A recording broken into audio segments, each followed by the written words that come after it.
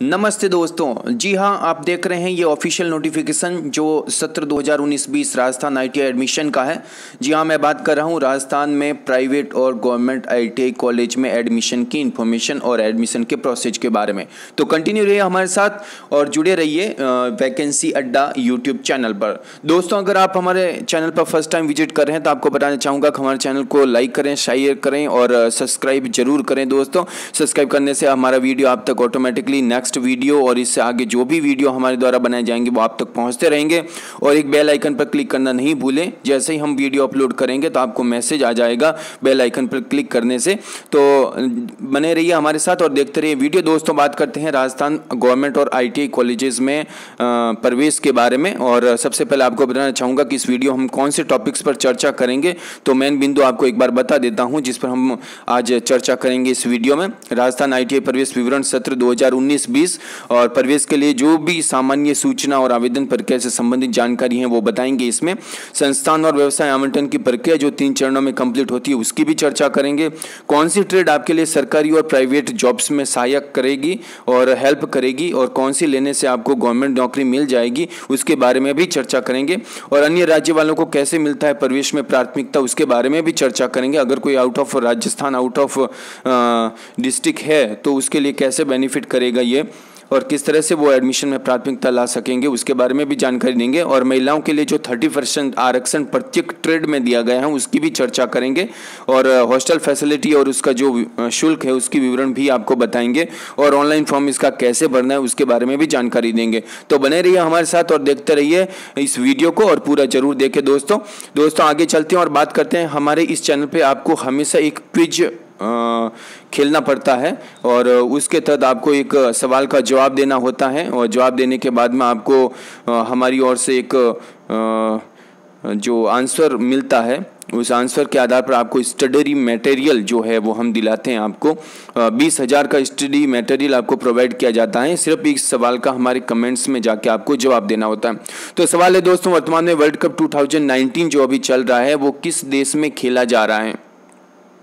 इसके लिए दोस्तों आपका ऑप्शन नंबर एक रहेगा, इसमें देख सकते हैं लिस्ट में। ऑप्शन नंबर एक जो है, वो है इंडिया। इधर देखें।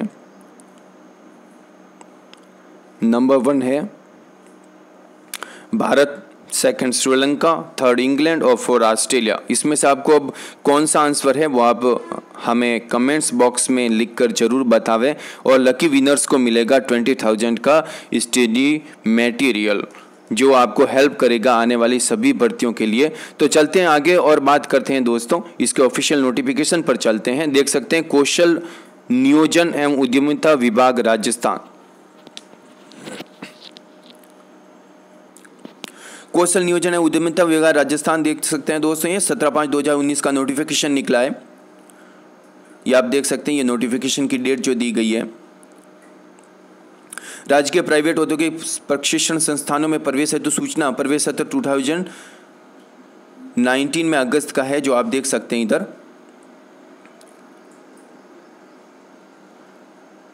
और 17 अगस्त 2019 में राज्य की समस्त राजकीय औद्योगिक प्रशिक्षण संस्थानों, आईटीआई में राष्ट्रीय व्यावसायिक परिषद एन जो है वो, और दूसरा जो होता है एससीवीटी। ये जो स्टेट लेवल पर और नेशनल लेवल पर दो है इसके बारे में। तो बात करते हैं आगे और एससीवीटी और राज्य राज्य व्यावसायिक प्रशिक्षण परिषद एससीवीटी के अंतर्गत निम्न व्यवसायों में प्रवेश और प्राइवेट औद्योगिक प्रशिक्षण संस्थानों में राष्ट्रीय व्यावसायिक प्रशिक्षण परिषद एनसीवीटी के अंतर्गत विभिन्न व्यवसायों में प्रवेश हेतु राज्य स्तरीय केंद्रीय प्रवेश प्रक्रिया द्वारा प्रवेश हेतु आवेदन पत्र आमंत्रित किए जाते हैं। दोस्तों, इसके आवेदन शुरू हो चुके हैं और आवेदन की डिटेल्स जो आप नीचे देख रहे हैं, इसके आवेदन जो है वो 14 जून 2019 से चालू हो चुका है। तो आप फॉर्म जल्दी से जल्दी फिलअप करें। ताकि इसका सर्वर स्लो होने से पहले। और इसकी अंतिम तिथि जो है, वो है 15 जुलाई 2019 एक महीने के लिए आवेदन खुला है और इसके फॉर्म भरे जा रहे हैं। आप भर सकते हैं इसके फॉर्म और राजस्थान से अगर आप बिलोंग करते हैं या आउट ऑफ़ राजस्थान से आप बिलोंग करते हैं तो इसके फॉर्म भरने के लिए राजस्थान के एक portal S S O Rajasthan dot G O V dot in. S S I D बनाना होगा, उसमें से इसका फॉर्म बनाना होगा।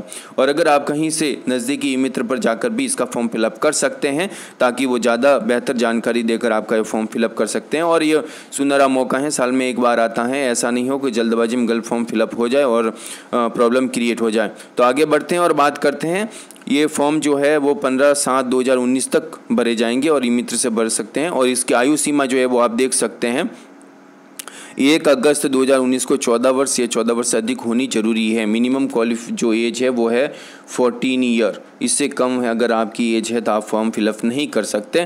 तो इस तरह से ये इंपॉर्टेंट इंफॉर्मेशन है और एजुकेशन से रिलेटेड अगर आपको जानकारी चाहिए तो आप देख सकते हैं। इसमें आठवीं, दसवीं और बारहवीं कक्षा उत्तीर्ण। इसमें फॉर्म भर सकते हैं।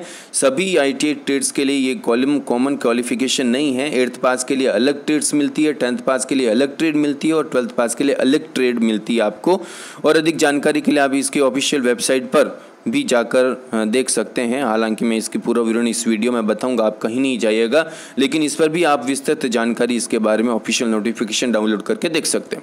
ऑफिशियल नोटिफिकेशन के लिए आगे चलते हैं और बात करते हैं दोस्तों इसका पूरा विवरण जो मैंने आपको बताया है, उसमें चलते हैं और देखते हैं।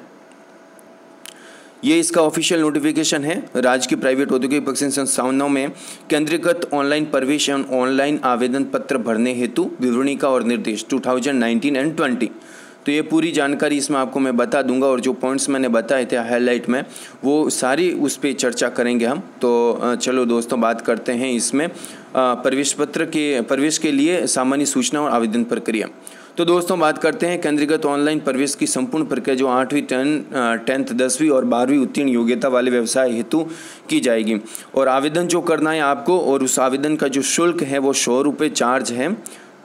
सौ रुपये इसका शुल्क है सामान्य अभ्यर्थियों के लिए और सेवेंटी फाइव रुपये जो है एस सी एस टी हेतु इसका शुल्क चार्ज है और ये ई मित्र वाले फॉर्म भर के आपका कंप्लीट करेंगे और इसका ये जो सौ रुपये चार्ज है वो विभाग लेगा इसकी पूरी प्रोसेसिंग के लिए। तो दोस्तों आगे बढ़ते हैं और इसके बारे में और जानकारी आपको बता दें कि राज्य के प्रौद्योगिक प्रशिक्षण संस्थानों में किसी भी व्यवसाय में पाँच या पाँच से कम प्रशिक्षणार्थियों के प्रवेश होने पर वह व्यवसाय संचालित नहीं किया जाएगा या प्रवेशित प्रशिक्षणार्थियों को उनके ये आप आ, हमारी यूज़ की नहीं है। अगर कॉलेज में पाँच से कम का एडमिशन हो जाता है किसी ट्रेड में तो उस ट्रेड को नहीं कराया जाता है। ये उसके बारे में। और ये न्यूनतम शैक्षणिक योग्यता जो है वो देख सकते हैं आप। ये आठवीं पास जो है उसके बारे में टेंथ पास और ट्वेल्थ पास। आयु सीमा आपको पहले ही बता रखी एक अगस्त को चौदह ही उससे ज़्यादा होनी चाहिए। अब दोस्तों बात करते हैं प्राथमिकता की। ये आउट ऑफ़ राजस्थान से अगर आप बिलोंग करते हैं आउट ऑफ़ राजस्थान से बिलोंग करते हैं तो आपको किस तरीके की बेनिफिट अगर मिलता है या कैसे रहेगा, वो आप देख सकते हैं यहाँ पर। देखिए जो राजस्थान से आठवीं, दसवीं और ट्वेल्थ क्लास पास कर रखी उनको प्राथमिकता मिलती है चाहे वो आउट ऑफ़ राजस्थान का हो या आ, कैसे भी हो अगर उन्होंने टेंथ ट्वेल्थ या एट्थ राजस्थान में पास किया है तो उनको प्राथमिकता मिलेगी या राजस्थान का मूल निवासी है तो उनको प्राथमिकता मिल मिलेगी। अगर वो राजस्थान में कर्मचारी हैं। आउट ऑफ़ राजस्थान से बिलोंग करता है, लेकिन स्टेट गवर्नमेंट का कर्मचारी है और उसकी संतान है तो भी उनको एज ए राजस्थानी मान के एडमिशन में प्राथमिकता मिलेगी। और भारत सरकार या उसके हुक्म के कर्मचारी या उसकी संतान हो तो भी उसको प्राथमिकता दी जाएगी। तो इन सभी कैटेगरी वालों को पहले प्राथमिकता में एडमिशन मिलेगा। इसके बाद नेक्स्ट जो कि इनको एडमिशन मिलेगा द्वितीय चरण में, वो है, जो राज आउट ऑफ़ राजस्थान से बिलोंग करते हैं और उनका यहाँ पर किसी से कोई लेना देना नहीं है, कोई लिंक नहीं है, उनको, उनके बाद में ही एडमिशन मिलेगा। या पूर्व परीक्षा में जो उत्तीर्ण हुए हैं, उनको द्वितीय प्राथमिकता दी जाएगी। तो ऐसे करके मेन प्राथमिकता फ़र्स्ट जो दी जाती है, वो उनके लिए है। और व्यवसायों का जो प्राथमिकता कैसे आरक्षण है, वो इसमें विवरण दिया गया है। इस तरह से सभी सीटों में आरक्षण का प्रावधान है, आप देख सकते हैं। और इसके ऑफिशियल नोटिफिकेशन को भी डाउनलोड करके देख सकते हैं। आगे बढ़ते हैं और बात करते हैं दोस्तों, इसमें ये श्रेणी आरक्षण का जो विवरण दिया गया है, वो आप सब जानते हैं, इसमें कॉमन विवरण है। और आगे बढ़ते हैं और बात करते हैं इसके ये महिलाओं के आरक्षण की बात कर रहे थे। थर्टी परसेंट जो सैंतीस आरक्षण दिया गया है, थर्टी परसेंट सैंतीस आरक्षण है इसमें, वो आप देख सकते हैं ये थर्टी परसेंट प्रत्येक ट्रेड में। सभी महिलाओं को दिया जाएगा, तलाकशुदा विधवा सभी महिलाओं को इसमें आरक्षण दिया जाएगा। ये थर्टी परसेंट आरक्षण की बात की और इसमें ये आरक्षण का विवरण है सभी प्रकार का, जो आप देख सकते हैं।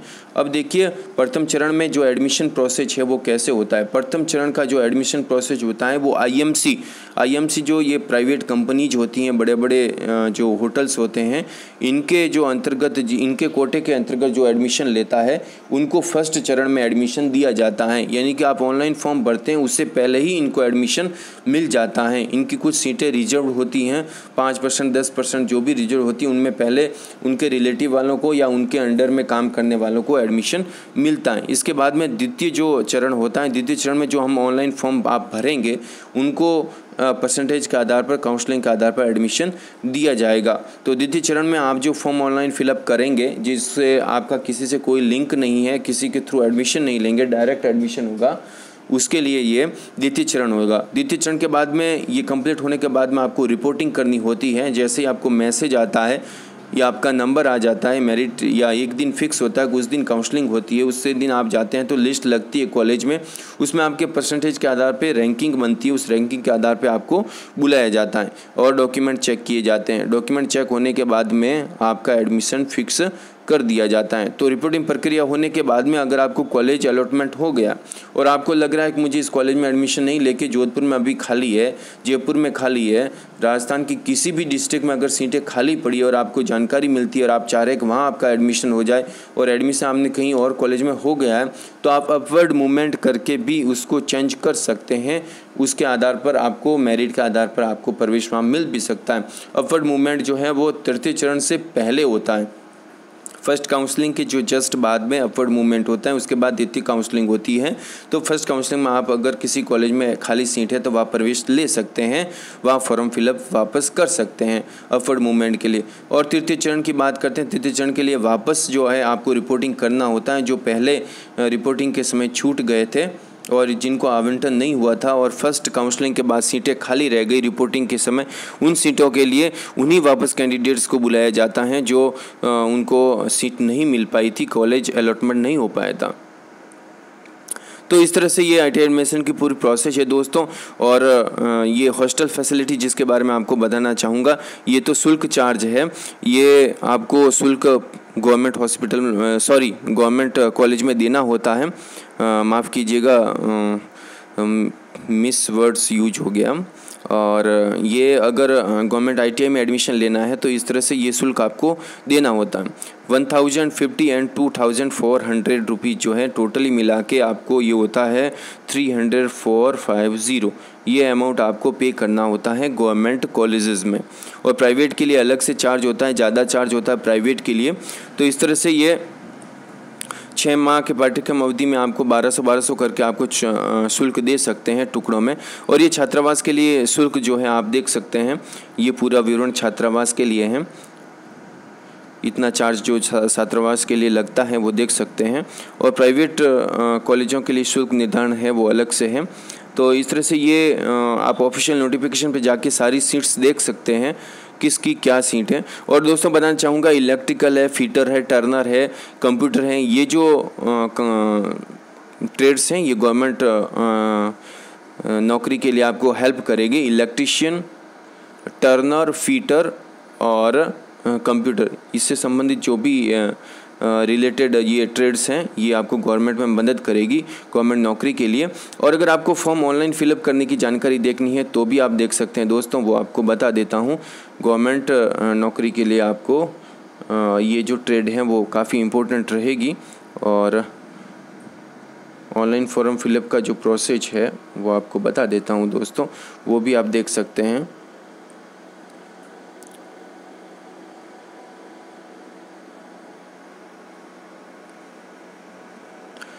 फॉर्म आपको ई मित्र की साइट पे जाके या एस एस लॉगिन करके इस तरह से आप एडमिशन के लिए ये ऑनलाइन फॉर्म है।